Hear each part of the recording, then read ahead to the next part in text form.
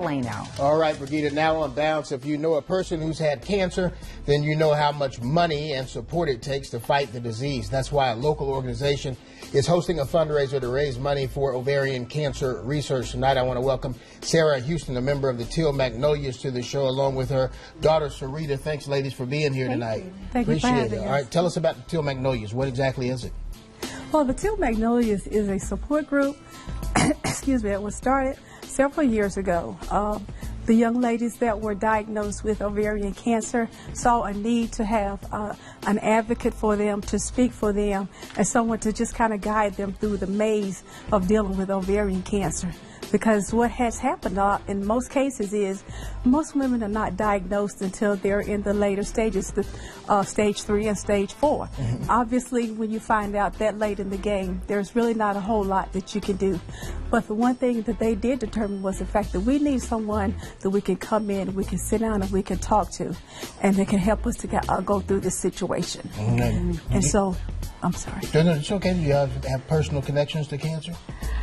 Um, yes, right now my mother is, um, you know, diagnosed with ovarian cancer right now. She got diagnosed in November of 2012, mm-hmm. and it was um, a blindsiding diagnosis for us. We did not know much about ovarian cancer at the time. We've learned a lot right. over the past three years about about the disease, about the statistics, and about um, the lack of awareness of the disease. So it's very important for us to to talk about ovarian cancer, and especially talk about the signs and the symptoms because they can mask a number of different diseases. There's abdominal pain, there's bloating, there's changes in your eating habits, changes in your bowels.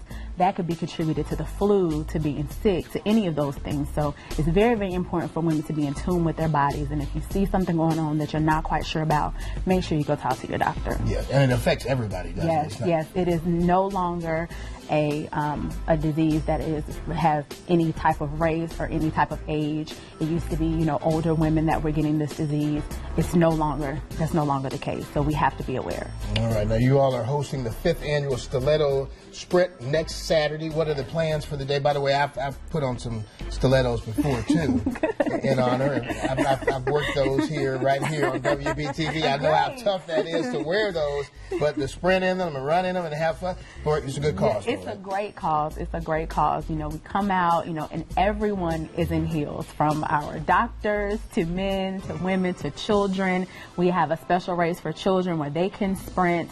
So um, you come out, it's like a 77 yard dash. And there's some pictures from last year, I believe. Yes, mm-hmm. in South Park Mall, and we're all tealed out, and it raises a ton of money for the Ovarian Cancer Fund at Levine Cancer Institute. So all of the proceeds um, from this event are donated to that, which is helping us do more research. But it's a fun event. Mm-hmm. You'll see a lot of good stuff out there. it's definitely a joy, and to see our oncologists out there dressed in drag and in heels running is great. It's all great. Right. All it for must, a good cause, It's right? must see, and it's all for a great cause. And, and we want to say thank you to you as well. You guys are very supportive of us. Yes. Maureen yes. is there. She's there tirelessly. Uh, she's a spokeswoman. She comes in. She gets right in there. You know, she runs. You know, she uh, she champions all the teams. You know, yeah. she points you out. You know, okay, go team Sarah, go.